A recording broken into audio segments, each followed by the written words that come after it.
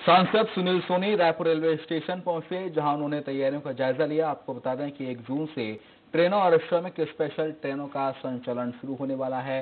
सांसद सुनील सोनी ने पत्रकारों से बातचीत में बताया कि रेलवे प्रशासन ने अच्छी व्यवस्था की लगभग एक हज़ार कुर्सियाँ यात्रियों के बैठने के लिए रखी गई हैं। इसके अलावा स्क्रीनिंग की पूरी व्यवस्था की गई है।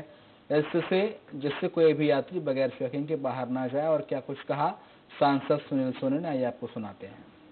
रेलवे में अब आज से ट्रेनें प्रारंभ हो रही है और एक तारीख से कंटिन्यू ट्रेन प्रारंभ होगी उसका शेड्यूल आ गया है। उसके अलावा रेलवे प्रशासन ने एक अच्छी व्यवस्था की है।